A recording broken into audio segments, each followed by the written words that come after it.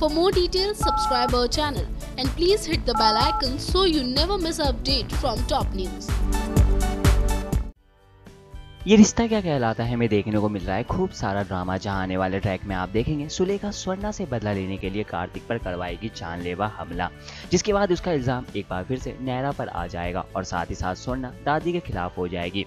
लेकिन आगे जान रिपीट लेकिन आगे की जानकारी देने से पहले आपको पिछले ट्रैक के बारे में बता देते हैं, जहाँ तक आपने देखा किस तरह से तन्वी के एमएमएस देखा होने के बाद कार्तिक नैरा के बीच जंग देखने को मिल रही होती है।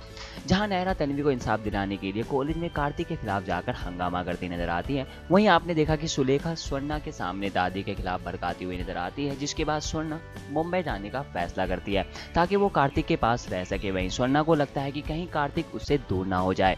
इसी के साथ आने वाले ट्रैक में आप देखेंगे सुलेखा, स्वर्णा और दादी के बीच गलतफहमी पैदा करने के लिए कार्तिक पर करवाएगी हमला।